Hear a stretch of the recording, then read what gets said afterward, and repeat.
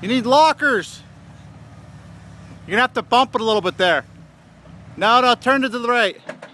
There's a big rock right in front of your passenger side tire. There you go, right there. Go.